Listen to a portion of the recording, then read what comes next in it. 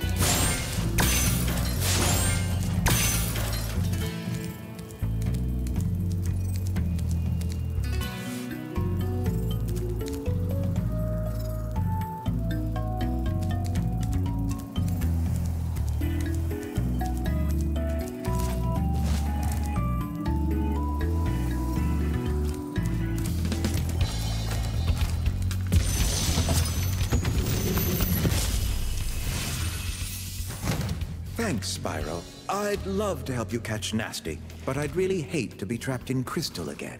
Don't worry. The only one that's gonna be trapped is him.